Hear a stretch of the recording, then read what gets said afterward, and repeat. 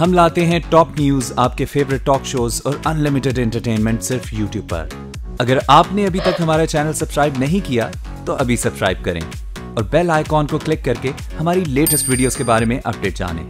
Subscribe कीजिए और हम आपको लिए चलेंगे आपकी फेवरेट वीडियो की तरफ़। लाहौर समेत पंजाब के मुख्तलिफ़ शहरों में धुंध का राज, हाफिजाबाद, मोटरवे एम और थ्री ट्रैफ़िक के लिए बंद। चीचा वतनी बूढ़े वाला समेत कई मकाम पर हद निगाह सिफर रहीम यार खान में गुड्डू थर्मल फ़ीड स्ट्रिप कर गए। चकवाल के इलाके ढोक पठान में मुसाफिर बस पुल से नीचे जा गिरी। पच्चीस अफराद जहाँ बहक, उनहत्तर जख्मी, कई की हालत तशवीशनाक।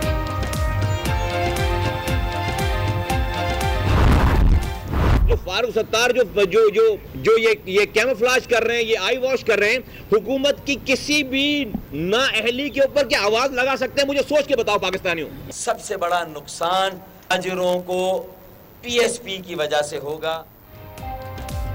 कराची की ड्रामाई सियासत में नया ड्रामाई मोड़ एमक्यूएम पाकिस्तान और पीएसपी का आइंदा इलेक्शन एक मंशूर एक नाम एक निशान पर लड़ने का ऐलान।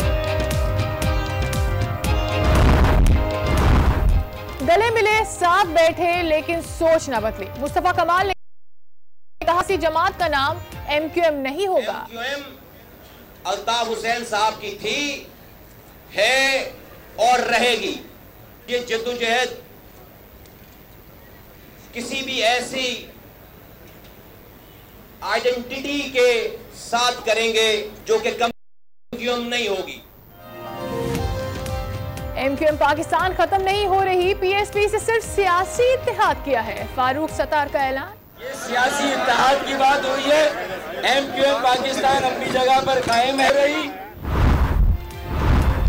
एमक्यूएम पाकिस्तान और पीएसपी में इतिहाद का पहला आफ्टर शॉक अली रजा आफ्ती का मुतहदा से मुस्ताफी होने का ऐलान।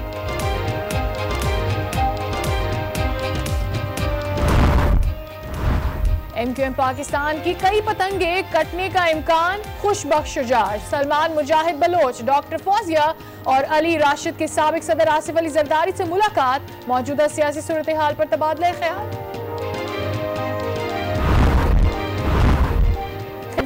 के इलाके लंडी कोतल में ट्रैफ़िक हादसा। दो बच्चों समेत तीन अफराद जहाँ बहक।